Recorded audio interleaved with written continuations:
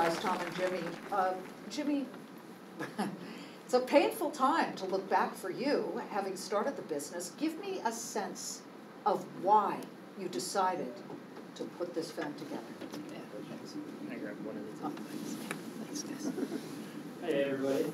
Uh, so I, as I mentioned, I started this house painting business, but really I was pursuing film. I wasn't pursuing house painting.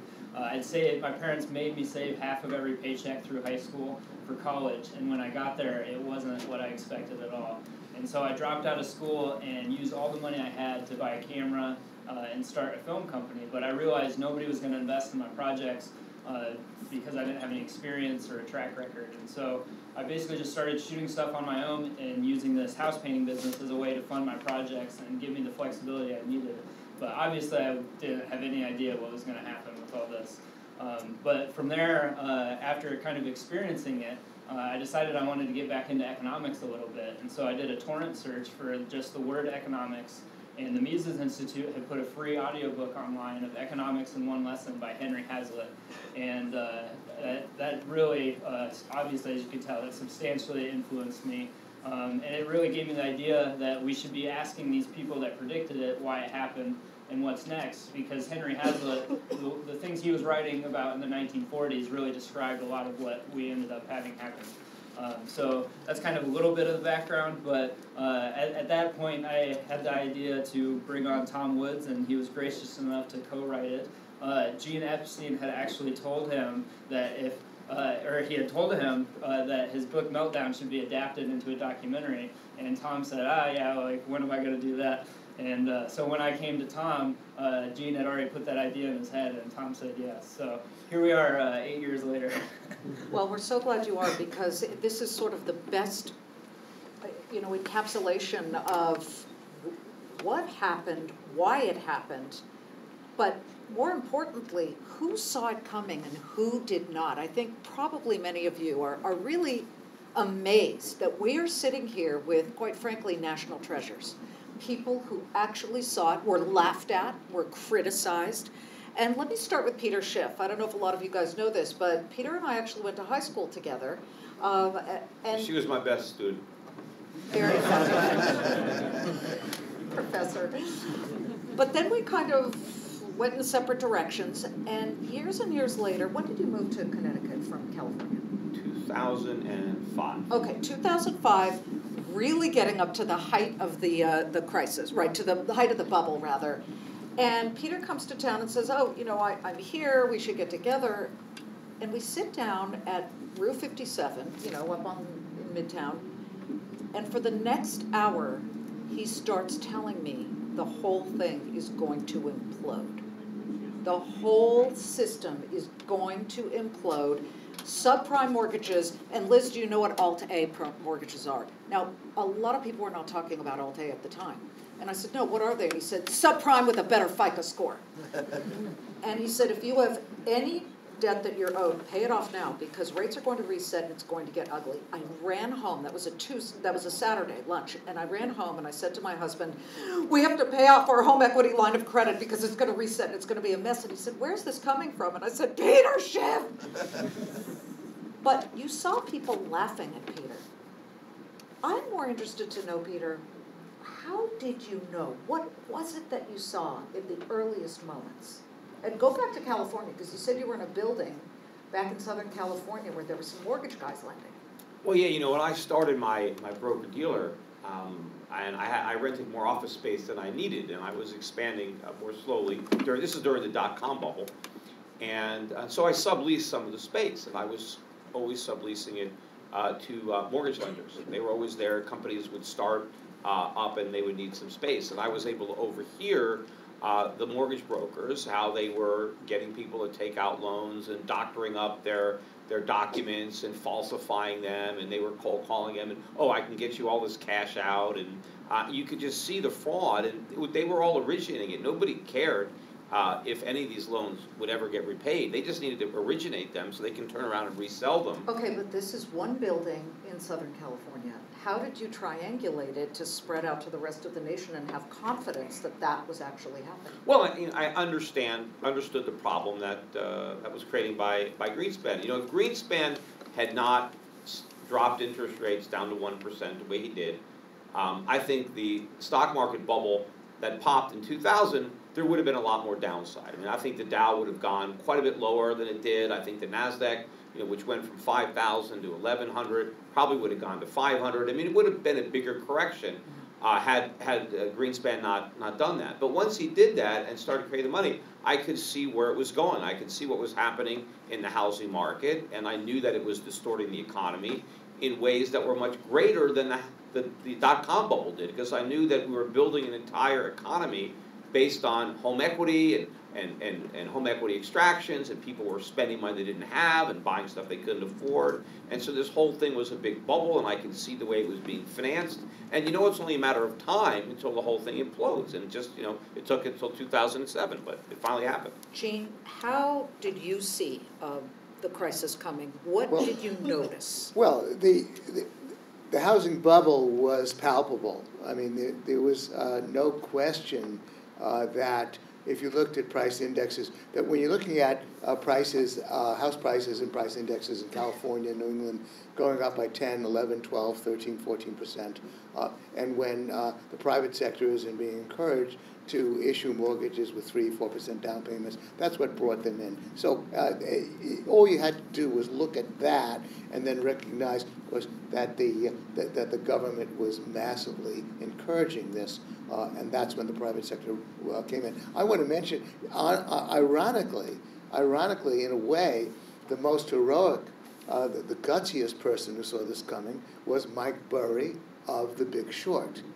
And uh, what and, and that movie, uh, The Big Short, uh, which I think is intellectually uh, a, a, uh, a, a shame, uh, only about only depicting the crazy crony capitalists, the casino capitalists who got uh, involved, uh, and not at all depicting the government. Because the crowning irony is that if you speak to Mike Burry, he put a lot of money on the line, and he too knew that it was a government-induced housing bubble. That's not what in that's not in that movie, and it's not in the book. And yet, the, the Mike Burry, played by Christian Bale very well in that movie, if he were here, he would be the guy who we'd really respect because he put his money where his mouth is, found a way to short the housing market, and made billions of dollars in the process. But he knew that it was a government-induced bubble. And let me get to Yeah. you, Jim. Yeah. What did you see that indicated to you that, and I'm talking years ahead of anybody else?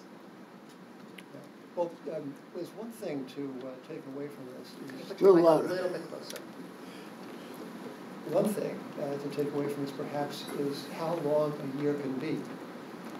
Uh, The first quarter, I think, 2001 house prices were up 8%. Uh, The Fed funds rate was on its way down, and uh, it was no secret that house prices, even then, were out of line. By 2003 and 4, you began to see uh, these crazy mortgage, uh, kind of mortgage science projects, uh, collateralized debt obligations, the alphabet of uh, mortgage securities. So 2001, count these years, one, two, three, four, saying things as Peter said them as others said them. But that, on Wall Street, there's this uh, distinction uh, is almost invisible between being early and wrong. So uh, this has relevance today to see some crazy, I mean, uh, some 13 trillion or so of debt securities worldwide uh, are priced to yield less than nothing, not after adjustment for inflation, but nothing, nothing, below zero. Uh, the uh, lender pays the borrower. Nothing like this in 4,000 years of interest rate history. So uh, those of us who have been decrying this ought to recall that uh, you could, and some of us did, suspect or even see that there would be a comeuppance as early as 2001. The elapsed time between 2001 and 2008 was not, as it seems arithmetically, seven or eight years. In, in the years of a Wall Street career, that was about 50 years. Time moved very slowly. So uh, uh, one perhaps forward-looking lesson is that these things can and do go on and on and on. Absurdity piles upon absurdity, and uh, non sequitur upon non sequitur, and humiliation upon humiliation for those who have their money up and who lose it because they were really slash wrong. But, uh, yeah, whatever you ask, Liz, that's the answer. Okay. There is a man sitting up here who is uh, almost one of a kind, uh, and we used to constantly call him when I was at CNBC when we needed a bear, because there were too few bears at the time, and that's David Tice. David, uh, thank you for helping to fund this movie. I, I'm very interested to know how it came to your attention and why you felt it important to help out with Tom and Jimmy.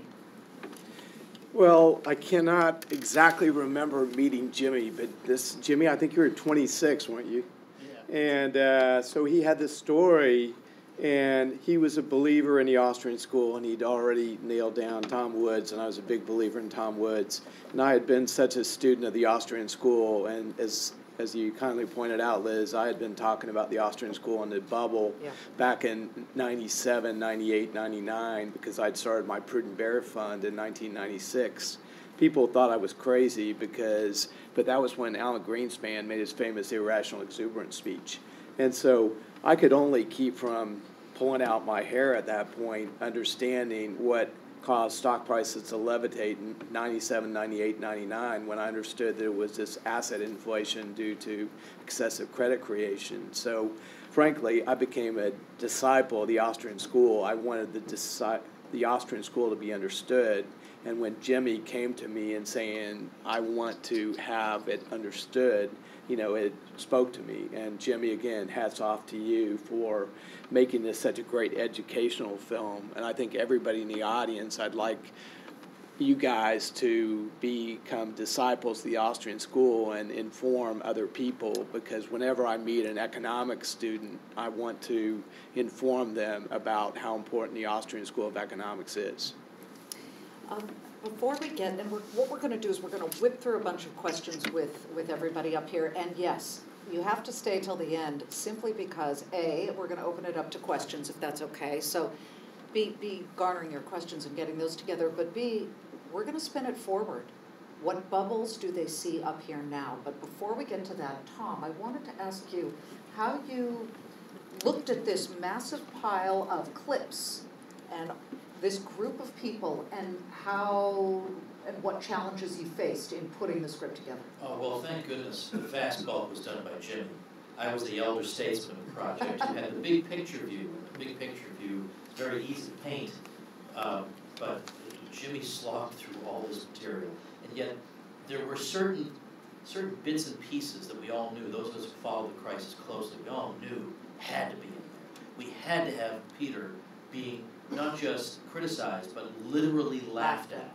Because at that moment, Peter, you couldn't realize how awesome that moment is for the future. Because these SOBs laughed at you and you were so right, and then almost nobody apologized to you later. I mean, it tells you something about these people. Ben just Stein did. I, I know, that, yeah, that's right, Ben Stein did, that's right, he did, and I, I give him credit for that. But these people, it's like they didn't even pause for a breath.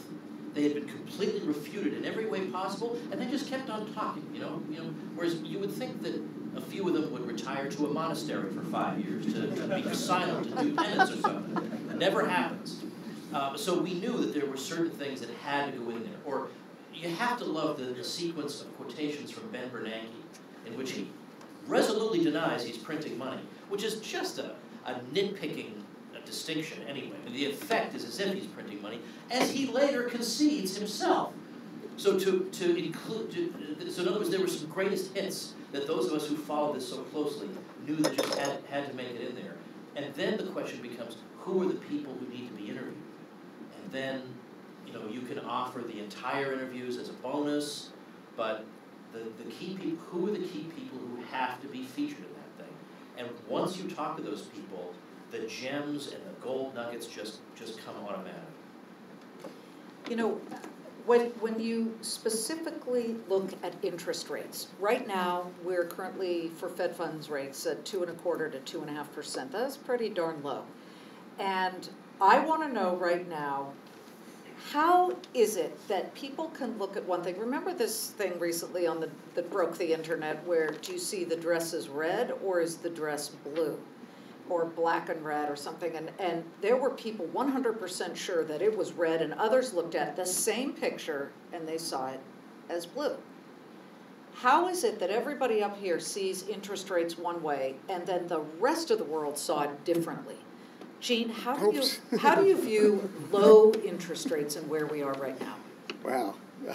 okay, you asked me tough question. Uh, well, the, the puzzle with that is, is that uh, we know that the Fed, of course, is a, it's a Soviet-style planning of the credit markets. Uh, you know, fix the, especially fix the, the short-term price, fix the long-term price. Uh, we, we, we don't quite know uh, where the market interest rate would be uh, if the markets were allowed to operate. And so that's always the puzzle. I will also say that, uh, that while uh, in the case of the, uh, of the uh, uh, Great Recession, we knew what was happening. We knew that, that, that, that disaster was building. But if we look back on, uh, on, on the history of the last 70 years, uh, it, it's difficult to be able to have been able to predict wh- whether a particular downturn was going to lead to a 10% unemployment rate or to a 6% unemployment rate. And so uh, it, it's difficult, even with the benefit of hindsight, to explain why uh, we had the great moderation for a while. Uh, and why that ended with the housing bubble. Why, why the, uh, the, previous recession that was most severe was in 81, 82. Uh, we could, it, it, I mean, we can sort of invent reasons for it, but in a way we're cheating with the benefit of 74, 75, another severe recession. Then a moderation, now a, now a severe recession in 08. So clearly uh, the storm clouds are building. Uh, the most reliable indicator of, uh, of pending uh, recession is the yield curve, the inverted yield curve. If the long, if the short-term interest rate is higher than, than the than the ten-year, th- through three-month interest rates versus ten-year, for example, and that's beginning to form. So we see that happening, uh, and so there is cause for worry. Uh, and, but I hate to be completely doom and gloom. I want to emphasize one thing about this movie and the importance of it. Uh, uh, when, when, when we begin to puzzle over why the popularity of Bernie Sanders, why the popularity of socialism, why the millennials talk in those terms, it may very well be primarily because of what happened in 08, 09. Because, the, because they saw what was happening to their parents' homes. They came onto the job market in, in 2010, 2011. Uh, the, uh, they came uh, into the economy when the slowest uh, expansion on record was, was occurring from 10% unemployment rates. So they got traumatized by what occurred.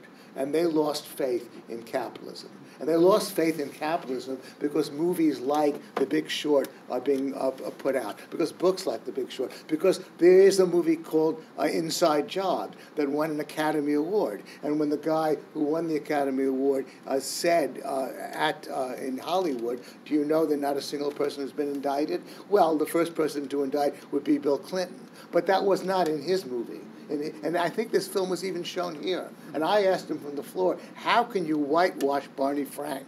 That was the only question I can. But the point is This that was- film did not whitewash Barney Well, it did not. But there, but there is a lot out there, and this movie is fighting it. I'll tell you one other thing I wanted to mention, which is unusual, because it's all about something to do with the Trump administration. The, the Federal Housing Finance Authority, which is in charge of Fannie and Freddie and, and federal housing, they, they've been giving, putting out research that's incredible that I made use of, uh, showing that, uh, that, that the government was primarily involved in what went on through the 90s into 2002, 2003, and then that's when the private sector came in, when they were looking at 10, 12, 13% uh, uh, house prices. And now the head of FHFA is a guy named Mark Calabria, appointed by Trump. Mark Calabria wrote four book reviews for me at Barron's. He was at Cato. He's a very sophisticated free market guy. I mean, just imagine putting Tom Woods, head of FHFA, and you almost have the picture, or uh, or Peter Schiff. It's almost that extreme.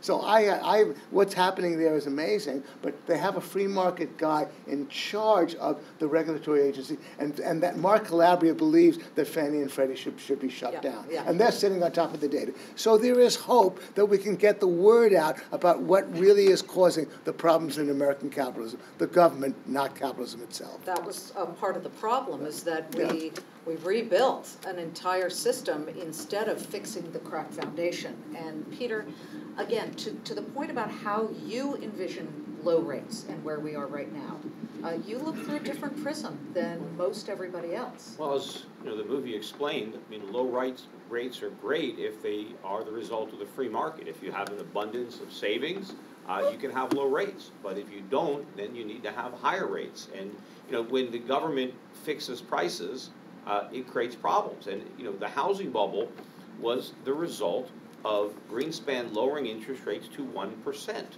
and keeping them there for a couple of years, and then slowly raising them back up to five and a half, wherever they got. And during those years of artificially low rates, we inflated so large a bubble that when it popped, we had the financial crisis and the worst recession since the Great Depression. Now, think about what's in store for us, because after that bubble popped, instead of learning their lessons, after having blown two bubbles, first in the stock market and then in the real estate market, uh, instead of you know admitting that they lit the fires that they're trying to put out, the Federal Reserve didn't lower interest rates to one percent; they lowered them to zero, and they left them there for six, seven years, and then they took three more years to get back up to two, and they're already going back down. In July, the Fed is going to start cutting rates again. So if we created such a big bubble with 1% rates for a couple of years, that resulted in the, o- in the 08 financial crisis, what is going to result from this?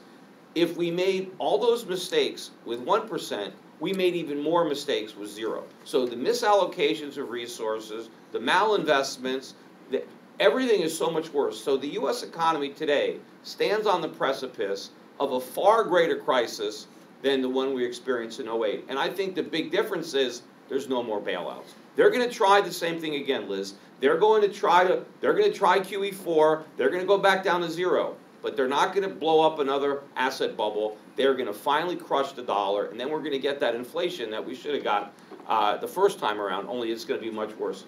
Jim Grant, what is the worst thing you see policymakers doing right now that will trigger the next bubble explosion? You know, this, I think showing up for work.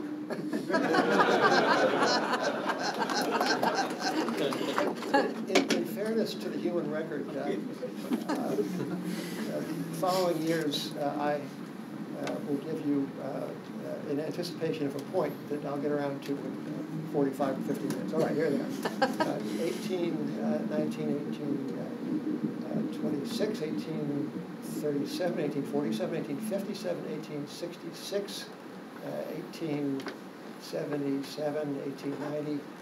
Uh, those were years of extreme financial difficulties in a century in which there was no Federal Reserve.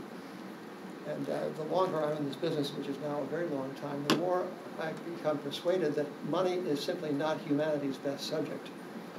And certainly governments don't help, nor fundamentally, perhaps does the fractional reserve banking system help, although it certainly has been useful in many ways.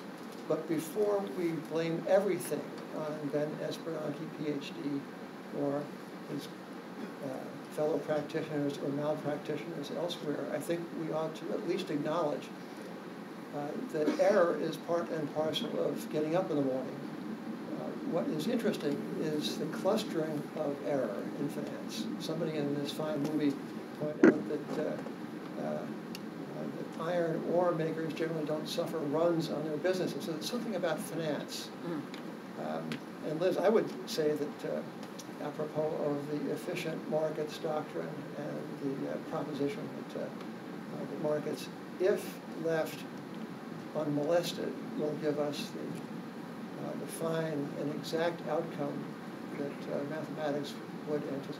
In answer to that, I would say that, uh, uh that um, uh, people around money are just as efficient as they are around romance. that, so anyway, that, that is by way of citing perhaps a slightly alternative point of emphasis on who done it. Um, Morgan Stanley went hat in hand along with seven or eight other uh, bad actors to Hank Paulson to get uh, infused with your money in 2008. None of them, not all of them were principally in the housing business. The, the credit crisis was a crisis of extreme over leverage and poor judgment that was just infused. And, and the source of that was, I think, to a degree, uh, central banks, and to a degree, uh, Adam and Eve in the garden. David Tice, I really want your answer on this. What do you think is the worst thing that policymakers or even the gamblers out there at the big financial companies or even just regular people because you know some people out there absolutely deserve some of the guilt in all of this because they were the ones who did not read the fine print but what do you see as really barreling toward the next big crisis Well, I think as Peter talked about, it- has to do with this next bubble. How are we going to get out of it? And there's confidence in central banks. And when the confidence in central banks ebbs, then that's when we're going to be in trouble. And right now, the central banks don't have many bullets left in the gun because, as Peter mentioned, we're about ready to start cutting rates. And so we have this next economic decline after interest rates are at, for $13 trillion at negative levels. What the heck are we going to do? And that's when we're going to go to gold, in my opinion, because there is this confidence in central banks that isn't going to be there anymore. There's not going to be any more uh, bullets in the gun, and so look out. Jimmy and Tom, you're working on the current movie, but I almost feel, because this story hasn't played out entirely, I almost feel you have to wait.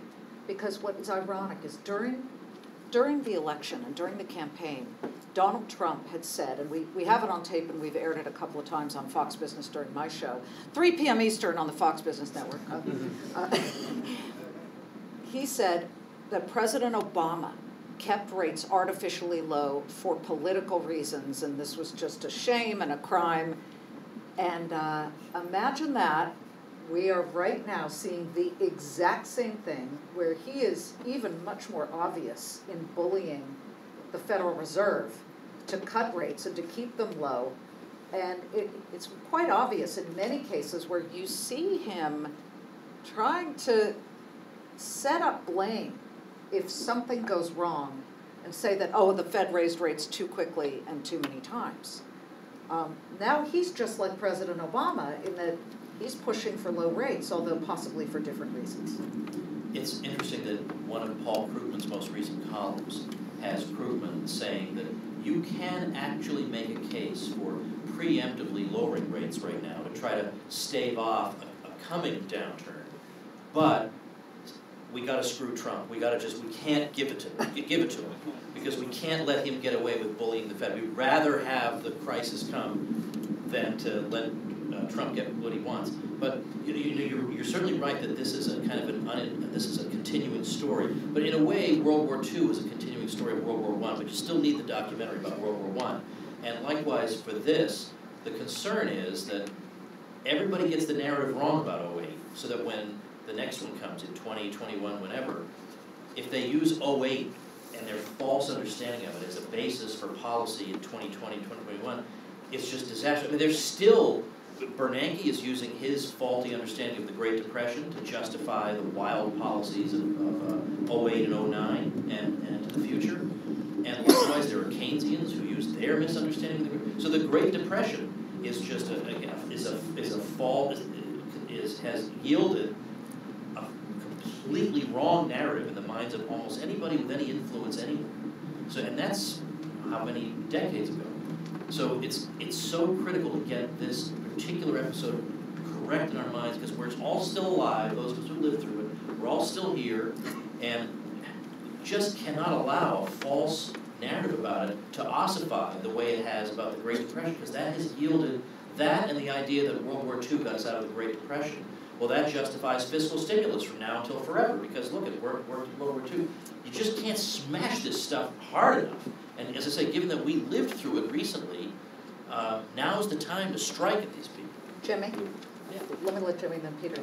Uh, just just to add to kind of where we cut off the movie, you know, it, it does kind of seem like okay, you're making a movie about the housing bubble, but you don't even get into the bailouts. Um, but I'm not going to say I planned this out years ago. But when we split the movie into two, uh, where we split it was very intentional.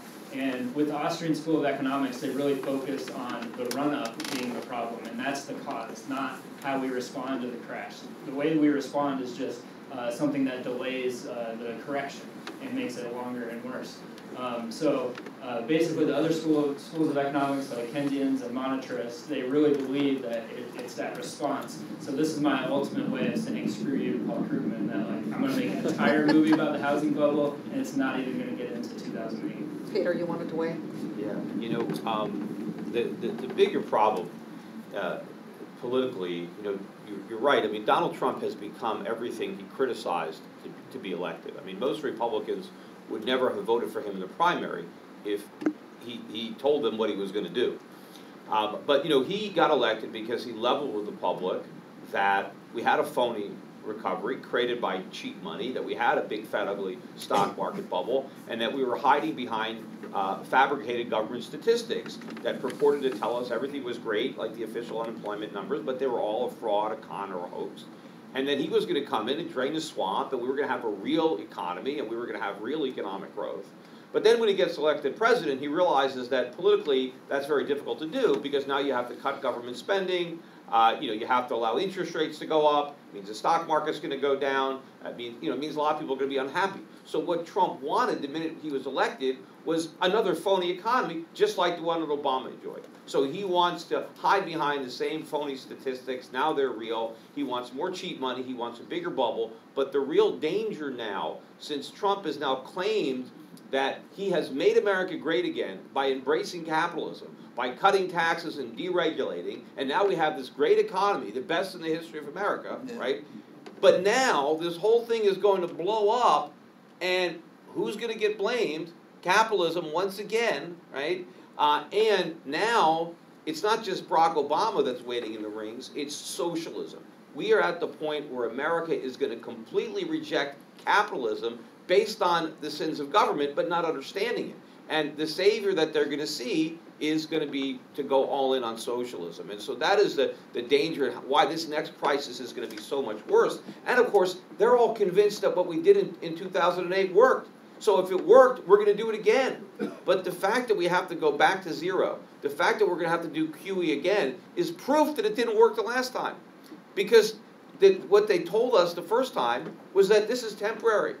Right? This is an emergency measure. Remember what Ben Bernanke first told Congress, we're not monetizing the debt. This is only temporary. We're going to sell the bonds. This is from, from QE1. Uh, and so the fact that they were never able to normalize rates, that they were never able to shrink their balance sheet, proves that the policies failed, yet they are going to do them again, except now we're going to be doing it with a socialist administration that's also going to want to print money to, to finance a laundry list of government programs. Uh, and so, you know, we're, we're headed for, you know, something much, much worse. Um, you know, black swan, you guys know that term, it's, it's sort of the unseen disaster that's coming. There, black swans are hard to see because they're dark and you can't really see them. Peter, what do you think is going to trigger this next, or at least be the straw that breaks the camel's back to this next disaster you foresee? Well, I mean, what I think is going to happen this time, and everybody just, you know, wants to fight the last war. Uh, and, and so they think, oh, the Fed's going to be able to, uh, you know, get us out of this by printing more money and, and lowering rates. But I think it's going to backfire on them because I think when the Fed has to start cutting rates, I think rates are going to rise on Okay, the long what's end. trigger well, that's going to be it. It's gonna, interest rates are going to rise; they're not going to fall, Mm-hmm. and we're going to see a breakout in consumer prices, not asset prices. And we're going to have the same stagflation that surprised the Keynesians in the 1970s. Right? They thought it was impossible, but it happened. We're going to have a weak economy, but with rising long-term interest rates and rising consumer prices, and there's nothing they can do about it. And when the markets get a whiff of this, when they realize that, hey, you know, it's not two percent inflation. And in the movie, we talk about how, you know, they said that the Fed said we can't have falling prices. Mm-hmm. We want stable prices. Well, then we said no, we don't want stable prices, or we want to have make sure we have inflation of less than two percent. That was the ceiling. Then it became a target. Now it's a floor. Right now we have to have inflation above two percent. But once it's three percent, four percent, five percent, and the market senses this, and they see there's no control because Greenspan, I mean, um, um, Volcker let interest rates go up to twenty percent. and we had a very bad recession as a result of that. Imagine the recession we would have if the Fed stood back and let interest rates go to where they need to go, with the amount of debt we have now, at the federal level, at the individual level, at the corporate level, at the state level. So the, the, the, we're in this box where if we do the right thing to, like, like Volcker did, then everything implodes. And if we're too afraid to do that, then we have hyperinflation. So that's going to be the trigger when, when, when we get the recession, but we don't get the reaction. When the gov- when they put the monetary stimulus and it doesn't produce the same reaction, in, instead it's an overdose Right. on that stimulus, and and, and, and then then it's and then it's game over. Then it's checkmate for the Fed, and then we got to pay the piper. Uh, Gene, what do you see as, I know, a- you guys are all gonna leave here tonight thinking, oy vey. Um, But tell me, Gene, what you see, and then David, I'll get your opinion on, what, what is the black swan? I'm always interested, in- and by the way, the last trigger is not gonna be this trigger. Uh, well, uh, I, I, I, I do think that we're headed for recession, as I've said. I, I want to just add to what Peter said, that, that when, it, we do have uh, a housing bubble again, but uh, by any measure, it's not as much of a bubble as we had in '04 and '05. We do have a stock market bubble, by any measure, it's not as bad as it was in 2000, 2001. So where we can measure those bubbles, uh, it's, it's a mystery. Uh, it's not as bad. It's mystery in the sense of where is, where is the collapse? Where is the bubble forming? Where is the malinvestment? Uh, in, in terms of conventional measures, we don't find it uh, nearly so bad in the housing or in the stock market, which are usually uh, the two biggest uh, suspects. Uh, we do, as I say, uh, we are moving toward an inverted yield curve. That's bad. We don't know Can we just stop for a minute? I don't assume that everybody in this audience Sure. knows what Uh, an inver- inverted well, I just curve- defined it before. It's a, it's a th- just measured simply the three-month Treasury uh, rate. Which higher- are shorter term. The short term, that's three month, higher than the ten-year, as I've said. Uh, and so that's But, but what, just sorry to Yeah, push this, yeah, but sure. What is inferred from that Yeah. is that people are pouring money Yeah. into the shorter term because they cannot see longer term. Yeah. And that's a scary prospect. And when you see that inversion where the shorter term uh, treasuries return higher uh, interest rates, that often precedes, not always, but often precedes Well, it's, it's almost an always, uh, because as a matter of fact, this is where I want to make the point that, that you hear economists saying, saying that, well, when it, whenever the stock market, you know, it, it, gets back to the only good quip that Paul Samuelson ever made, which is the stock market has predicted nine out of the last five recessions. that, that, uh, that, that almost every indicator is a false positive. I hate that term, I think just false alarm. Almost every indicator uh, does precede recession, but it's filled with false You know, alarms. Gene, the I- one I that think- is not, if I may finish, Peter, you had a lot of chance, forgive me, if I may finish, the one that is not is the inverted yield curve. The inverted yield curve is actually almost any time it happens, a recession occurs. So that's why I keep mentioning, mentioning it. But I only want to point out, uh, uh, in terms of what Peter said, is that uh, we not only had the 1% uh, Fed funds rate, we had a very active Fannie and Freddie pretty much acting like a central bank. And while they are, while they are uh, mischievous, now they're not as bad as they had been. So I think it's a little bit mixed as to what we're going to be headed for, whether it's going to be as bad as we said. But I want to ask Peter a question. After this debacle, Peter, the socialists come in. Uh, the, uh, the, the we got 20% uh, in, uh, unemployment. Where's the light at the end of the tunnel? Uh, what's going to happen uh, 30 years from now to your grandchildren and mine?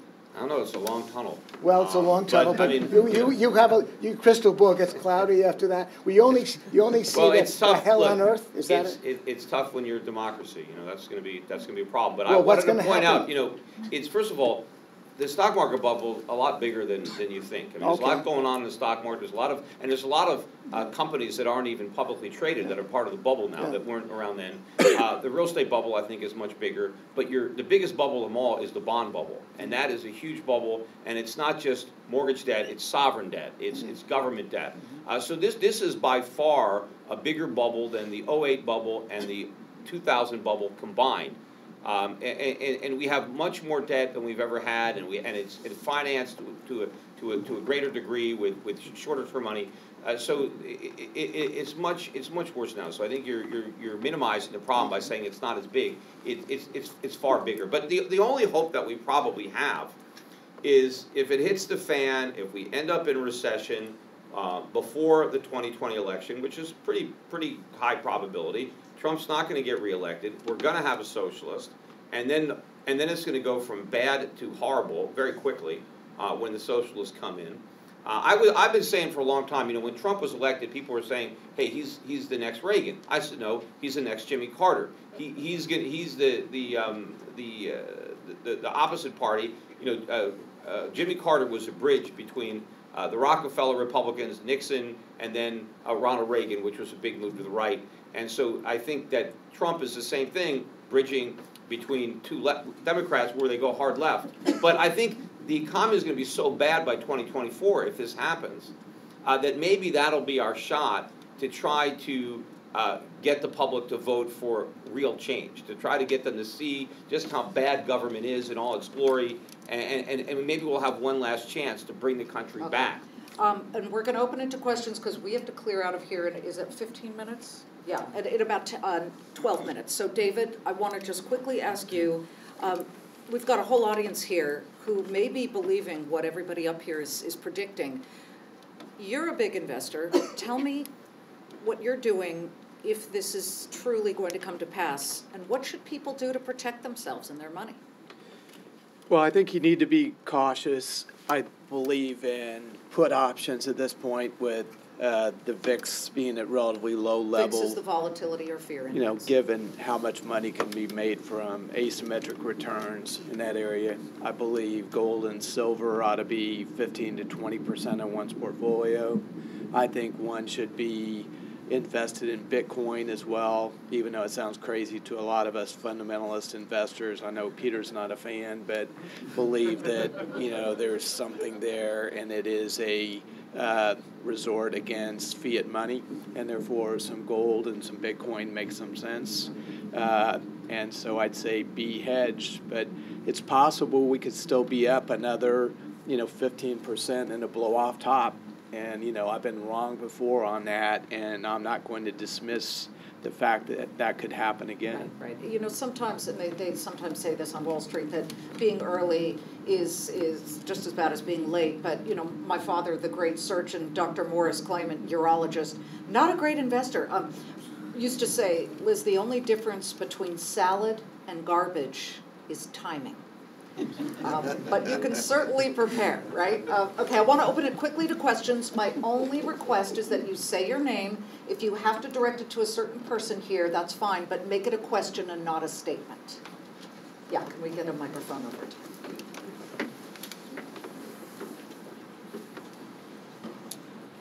Hello, thank you, uh, Barry Cohn, and uh, I wanted to thank you for the piece on the FDIC, because I think that's really relevant. Uh, What's happened in the banking system has led to larger banks too big to fail and all that sort of stuff.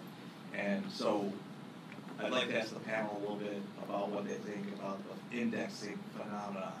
And to me, a little bit of one of the, we're, we may even be seeing the cracks in the facade with what's going on with the H2O debacle that's happening right now, where you're seeing a little bit of a run on some funds.